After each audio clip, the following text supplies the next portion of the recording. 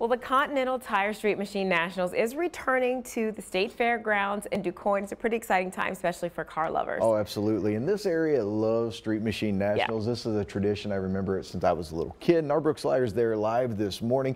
And Brooke, I'm checking out that white car behind you. That is a cool paint scheme.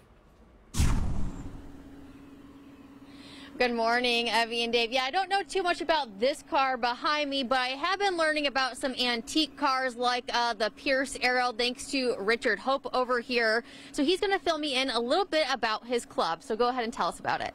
Well, we're called the Egyptian Antique Auto Club. We've been around since 1968. Um, we've got every kind of car you can think of, everything from old cars like the Pierce Arrow all the way up to Corvettes, uh, mid mid 50s, 60s, 70s, 80s. We've got just a, a, a real good selection of cars. And you should definitely check out their website because they have pictures of all the cars. I mean, they are real lookers. And so what will you be out here doing over the course of this event? Well, our club is running the swap meet. And um, what that amounts to is people who have parts that's maybe been sitting in the garage for a while. Um, they just need to move them, sell them, get rid of them some way.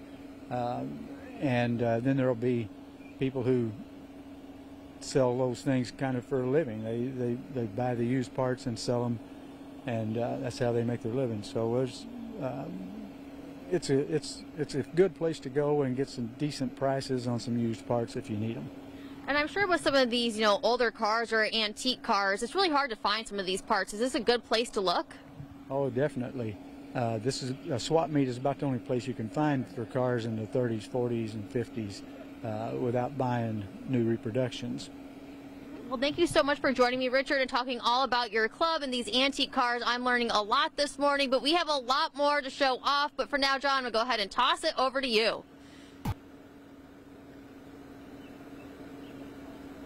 Hey, thank you, Brooke. Uh, yeah, uh, very cool. The swap meet. She mentioned the swap meet. I remember going to those with my dad, especially at car Aww. shows. One thing I always learned, one thing you always told me, don't give them what they want. You offer them a little bit less, and then you, you work from there. But yeah, no, that sounds like a lot of fun. Going to be a great day to get out and do stuff like that today. Anything outdoors, really. Temperatures are back up into the 80s later this afternoon. Uh, our main concern this morning going to be a little bit of fog, that and then a chance for showers in the